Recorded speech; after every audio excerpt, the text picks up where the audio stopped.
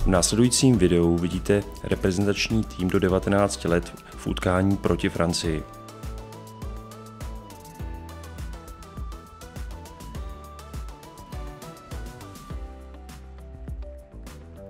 Výborným pressingem na útočící polovině jsme přinutili tým Francie ke ztrátě míče, kdy celou dobrou organizací hry všech hráčů jsme se dostali do velké šance Danielem Vyšinským, který za mě velice dobrou střelou ohrozil branku soupeře. Bohužel jsme nedali gól.